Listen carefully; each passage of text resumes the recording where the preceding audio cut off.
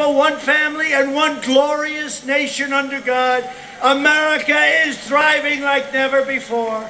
And ladies and gentlemen of Arizona, the best is yet to come. Right? We will make America safe again. And we will make America great again. Thank you very much. Thank you, Arizona. Thank you.